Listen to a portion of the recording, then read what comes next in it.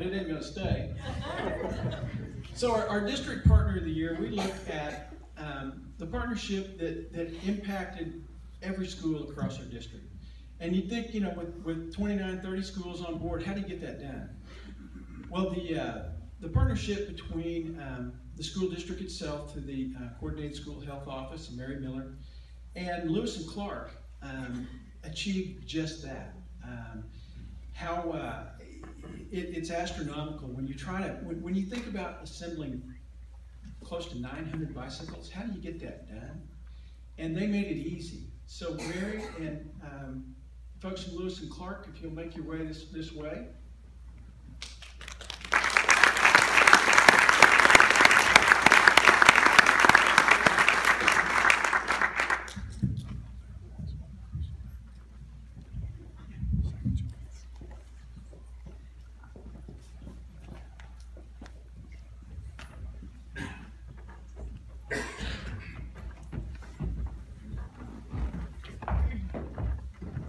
Don't touch it.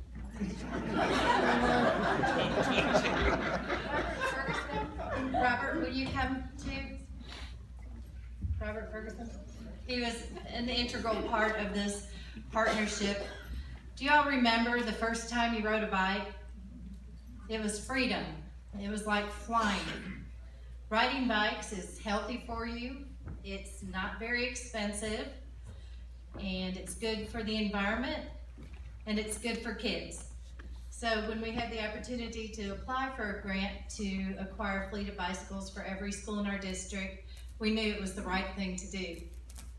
And I had known the Potts family for quite a while. They had participated in some of the coordinated school health meetings that we'd had over the years, and they had helped with our first round of um, bicycle grants through Endeavor um, about 10 years ago now. And so when we had the opportunity, we asked them to put in a bid, and Kelly Hayes wants us to get bids from at least three people, that's one of the rules.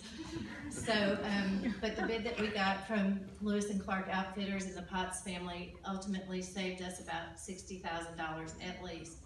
But what we didn't know is that when the bicycle, well, if I thought about it, I probably would have known. But when the bicycles came to us, they weren't sorted they were just in stacks of large, extra large, small, medium, tiny. And um, you had to sort those. We spent, I mean, literally in the warehouse, three or four days dragging boxes of bikes around and sorting them into groups by schools.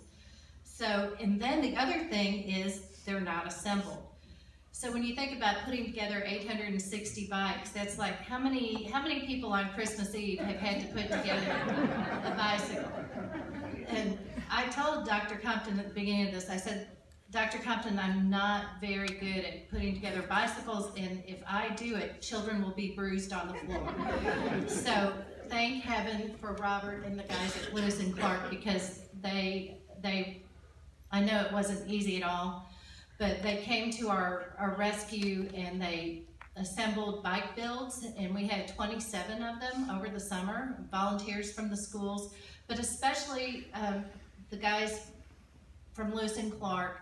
They tested every bike for safety.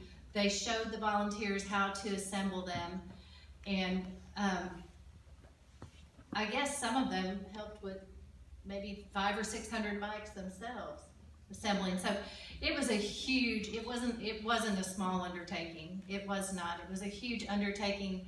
And um, now our kids are able to have that wonderful feeling that we all had when we first learned to ride bikes. They're able to fly. Lewis and Clark also taught um, mechanics at the Ag Power Systems class at Springdale High School how to be true bike mechanics and they gave provided a three-day three-day workshop for um, three of our ag power systems mechanics.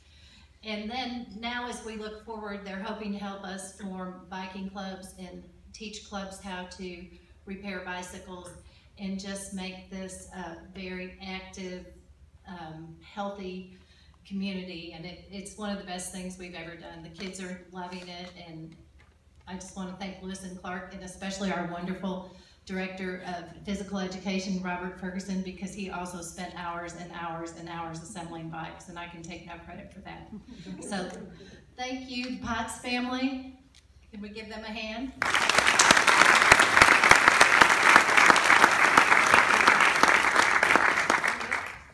We're having video, and this is Rob Potts, Thank you. co-owner. Mary two questions for tonight. One, what is the dress? And she said business casual. Uh, and Clark business casual is usually shorts and t-shirts. So, so I had to get a clarification on that. Uh, the second thing is I won't have to speak, will I? And she told me, she said I would, just very briefly. So I don't like to talk, so I won't be here long. Um, what the school system has done here, um, putting almost 900, I guess we are at about 900 bikes, aren't we? Um, to give you an example, is we have a full-time staff in our bike shops of about 12 people each. And we'll build about 150 to 200 bikes in a month. Um, so we had to figure out how are we going to get 900 bikes built in a two-month time period. Um, who is there anybody in here who I know there are a lot of who, who volunteered to build bikes at, at some of the schools? So no, there's there's a number here. Thank you.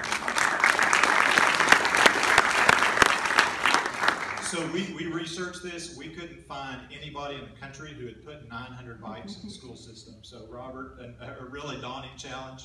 Uh, so the schools, the volunteers, um, ourselves, uh, so we got the first part done. It is just the first part. Um, it, it's really exciting to see the kids out riding bikes. Um, it, really is the first step. After this, we're really gonna need the community's help uh, to get bikes club, bike clubs going, to take care of the bikes, uh, to get kids riding bikes, to get kids racing bikes, um, a- and, then beyond that, to get them and their families out riding the trails. So, so to us, it really is.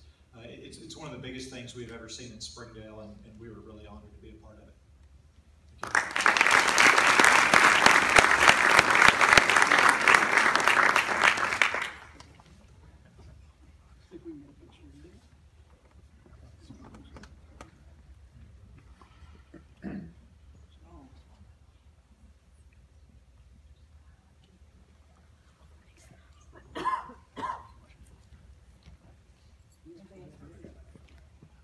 We were contacted, uh, by, the- actually by the Springdale schools first